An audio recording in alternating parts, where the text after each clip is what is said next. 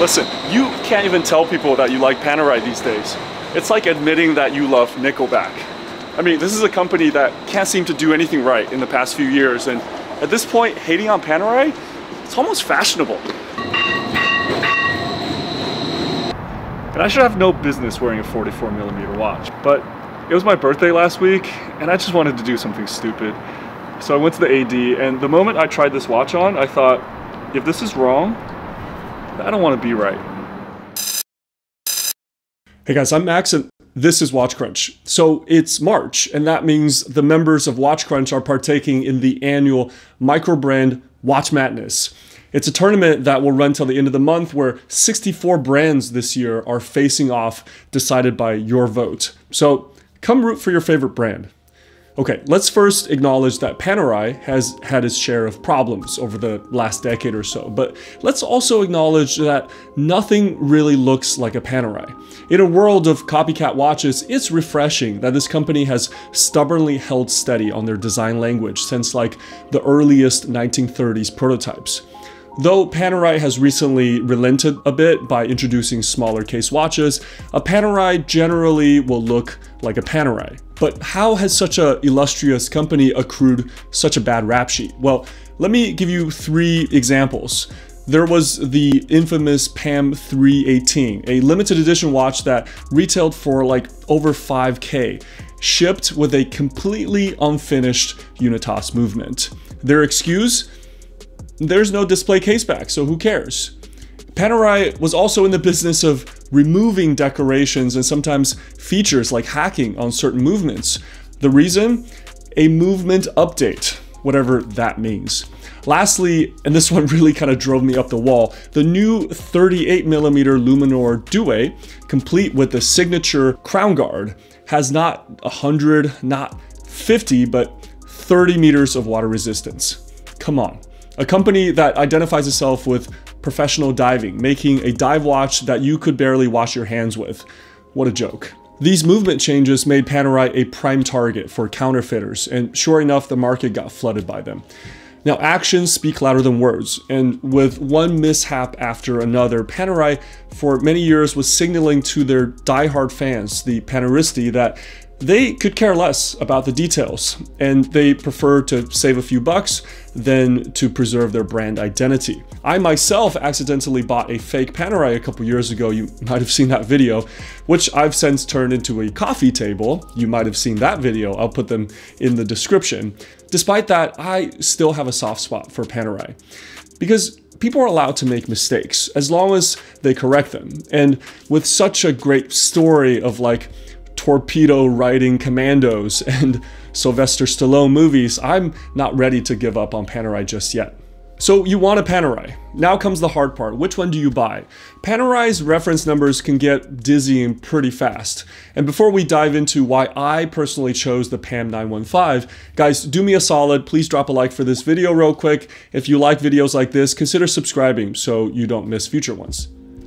There are three lines within the Panerai catalog. The Radiomir is the most sort of true to the original 1930s watch, which was really a Rolex case pocket watch with wire lugs welded on. There is the Luminor, the one I have, called that because they switched from the toxic radioactive radium to tritium in like 1950.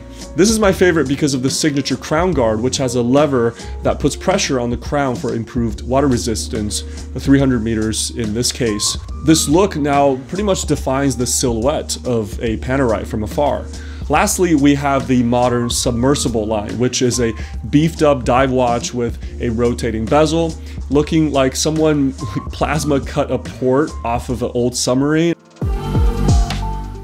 Okay, so now that I've narrowed my search to the Luminor in the standard 44mm case, it was time for me to dictate the features I wanted. First, I was looking for a sandwich dial. This was a dial making technique that instead of painting the numerals on, a luminescent plate was sandwiched behind the dial with its elements reliefed out. And the sandwich effect really adds a great level of depth and on an otherwise pretty simple looking dial, I'll take all the little Easter eggs I can get. Now, not all Panerais have sandwich dials, so make sure you do your research. Next is the dial layout. The base watch, in this case the 914, has all the numerals, the 3, 6, 9, and 12. Now I wanted the small second function partly to break up the symmetry and partly just to know that my watch is running, as Panerais don't otherwise have a central second feature. One bonus is that on the 915, the small second is painted bright white, which really pops against that matte black dial. The Panerai 914, 915, they have a healthy dose of fauxtina. It's a pretty heavy khaki color, almost too much, but I've already admitted that I love fauxtina. I'm not embarrassed by it, especially on a vintage inspired watch. And this one doesn't seem to affect the luminescence one bit. Now, ever since my fake Panerai experience, I've decided that my next Panerai purchase will be from an AD, complete with box papers, uh, warranty, and a handshake. So this meant buying something new and available now. And the feature that really kind of put this watch over the top for me is Panerai's new in-house movements. See, Panerai does listen. The P5000 found inside is a 21 jewel machine with a free sprung balance and an impressive 8 days of power from twin barrels. So let me repeat that. It's not 80 hours, it's 8 days. That's almost like 200 hours, making this sort of like a wind and forget kind of watch. The new movement is also just four and a half millimeters thin, slimming this case down to 13 and a half millimeters, including the dome sapphire crystal, which is paper thin by Panerai standards. This drastically improves the wearing experience. I mean, it still has a pretty long lug to lug of 53, but with downturn lugs, I can comfortably wear this watch on my six and a half inch wrist, which is really a surprise. Now flipping this watch over, we get just a solid case back. And I tried Evan, you're terrific, his PAM 111, I think, that has a display case back that he really kind of fawns over. And I think this is where we disagreed. To me, you know, a big old dive watch that's military inspired should probably keep its skirt down. Now Panerai also includes a rubber strap in the box and it's really nice. This thing, it's really beefy, barely tapers, uses screws instead of spring bars, and the rubber has these prominent ridges with the words Officine Panerai cast into it. A side note, I've learned a lot of Italian owning this watch just a couple weeks. Like, Officine means workshop, and giorni means days, like eight giorni or Buongiorno. Buongiorno. All right, let's give the PAM 915 a crunch score. Um, the watch scores really high on its iconic, unwavering design. It's also got really solid finish. I mean, for such a simple looking watch, you can feel that it's just really well made. The new movement is a boss, and the history of Panerai, I think, is the stuff of legends. But to get all of this in one package, it's not cheap. Retail is just over 7k so make sure you ask for a discount.